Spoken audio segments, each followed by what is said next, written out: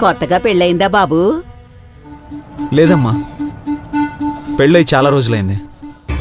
మరి ఈ కొంగు ముళ్ళేంటి బాబు? కొత్త పెళ్ళి కొడుకులా కొత్త పెళ్ళి కూతుర్లాగా? దాంపత్య వ్రతం చేస్తున్నామమ్మా.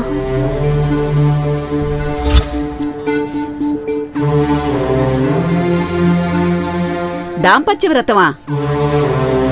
దంపతుల మధ్య ఏవైనా అరమరికలుంటే తొలగిపోవడం కోసం ఆ వ్రతం చేస్తారు. మరి మీ ఇద్దరిని చూస్తుంటే ఒకరి కోసం ఒకరు పుట్టినట్టు ఉన్నారు ఆ ఆది దంపతుల్ని చూస్తున్నట్టే ఉన్నారు.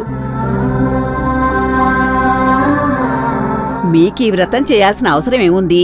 ఏవో అరమరికలు ఉన్నాయని కాదమ్మా. ఒక కీడు తొలగిపోవడం కోసం చేస్తున్నాం.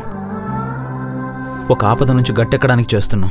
మరి ఇటెక్కడికి వెళ్తున్నారు సంగమేశ్వరి స్వామిని దర్శించుకోవడానికి.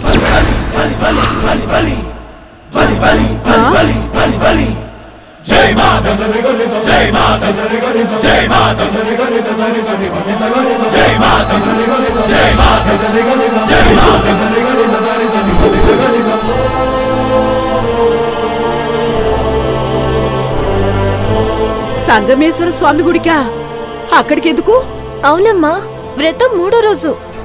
సంగమేశ్వరి స్వామిని దర్శించుకొని ఈరోజు ఆయన సన్నిధిలోనే గడపాలి.